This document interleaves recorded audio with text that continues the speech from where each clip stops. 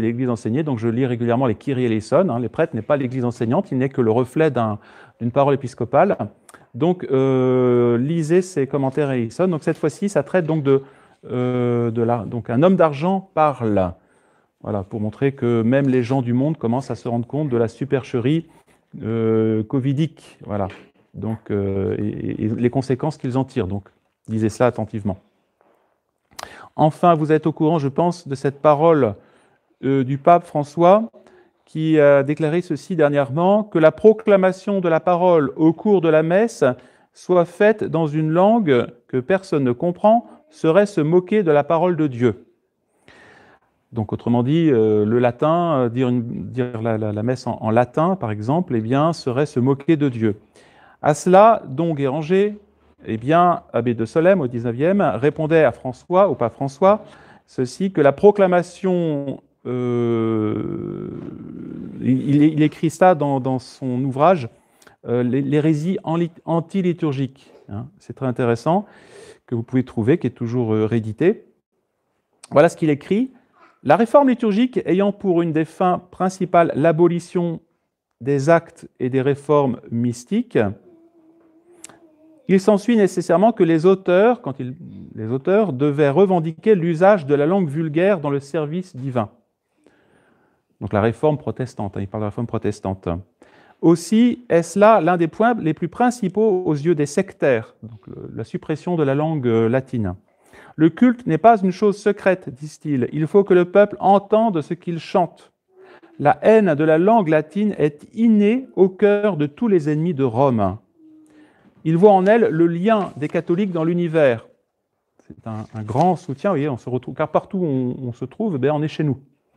L'arsenal de l'orthodoxie contre toutes les subtilités de l'esprit de secte. L'arme la plus puissante de la papauté. Donc la papauté se défend avec la langue latine.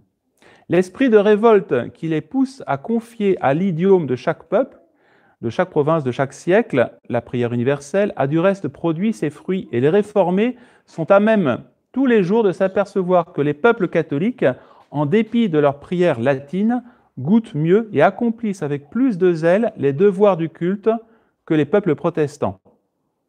Et ce n'est pas le latin, bien cher frère, que je pense qui vous empêche de prier. Au contraire, on voit la, ferveur dans, la tradition catholique, qui garde fidèle au latin, on, voit justement est un fruit de cette euh, langue. À chaque heure du jour, le service divin a lieu dans les églises catholiques. Le fidèle qui assiste laisse sa langue maternelle sur le seuil.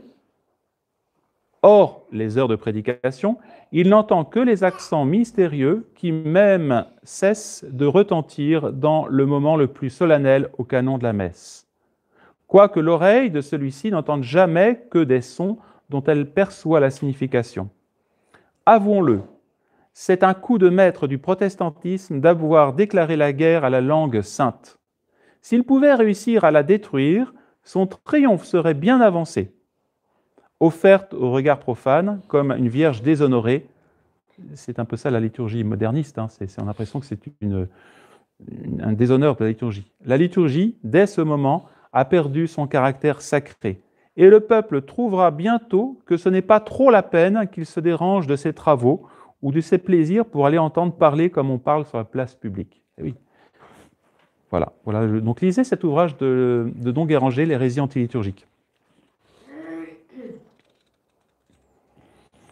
Voilà, je vous invite également à vous former euh, sur le plan politique. Hein. vous pouvez lire l'ouvrage de, bien sûr, euh, l'abbé Chazal, hein, La cité oubliée. Nous ne savons plus aujourd'hui ce que c'est qu'une cité catholique.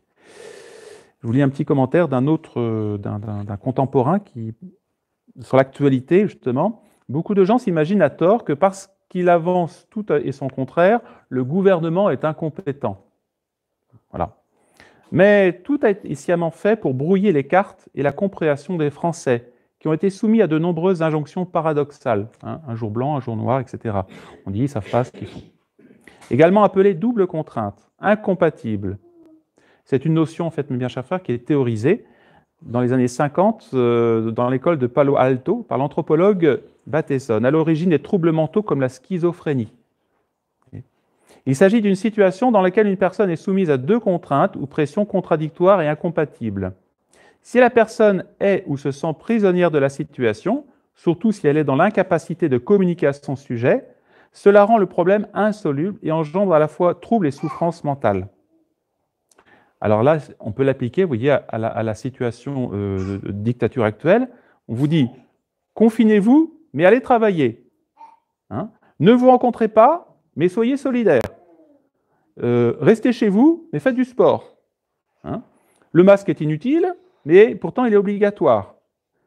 Pour protéger nos enfants, acceptons de les maltraiter euh, en, leur imposant le masque. Pour sauver nos aînés, laissons-les mourir dans la solitude. Pour éviter des attroupements, fermons les petits magasins. Pour préserver votre santé, fermons les salles de sport. Pour sauver nos hôpitaux, détruisons notre économie. Voilà. Donc, en fait, bien faire, tout ceci est euh, une, technique de manipulation tout à fait maîtrisée qui sont des ressorts, justement, du, marxisme, euh, du, du, néo-communisme actuel, hein, sanitaire. Et du, coup, qui fait disjoncter l'esprit, le cerveau de nos contemporains pour mieux les dominer, pour mieux les asservir. Hein. Et force est de constater que cette stratégie est redoutablement efficace, puisque la plupart des gens perdent tout esprit critique et sont comme hébétés. On voit bien, ils sont anesthésiés, hein. incapables de la moindre réaction. Bon, bien sûr, tout ça, c'est le fruit aussi d'un manque de vie de prière, un manque de cohérence avec le bon Dieu. Hein. le bon Dieu punit aussi de cette façon-là. Enfin, vous voyez, c'est une stratégie tout à fait diabolique.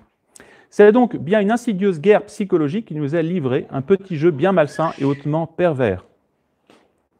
L'acceptation généralisée aux règles les plus absurdes ne peut fonctionner que grâce au conformisme et à l'instinct grégaire de la plupart des individus.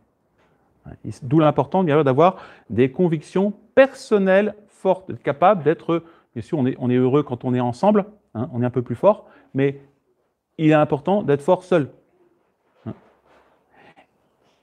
Donc c'est la fameuse expérience de 1000 grammes. Hein, voyez, euh, c'est un facteur très puissant qui, chez la plupart, entrave toute forme de discernement et de jugement personnel, qui peut expliquer euh, beaucoup de choses concernant la passivité euh, dans la présente situation. Donc aussi, on doit obéir aveuglement aux décisions les plus aberrantes au nom du respect de l'autorité supérieure. Mais je dirais c'est un petit peu valable dans l'Église conciliaire aussi. Car c'est elle qui serait détentrice de l'expertise scientifique autrement dit des théologiens aussi qui savent tout dans, dans l'Église conciliaire, des compétences et du savoir malgré des conflits d'intérêts patents. Donc, soyons, bien chers frères, ne soyons pas dupes de ces systèmes, hein, que la, sagesse chrétienne nous, fasse bien voir les choses, euh, les choses d'en haut. Au nom du Père, du Fils et du Saint-Esprit, ainsi soit-il.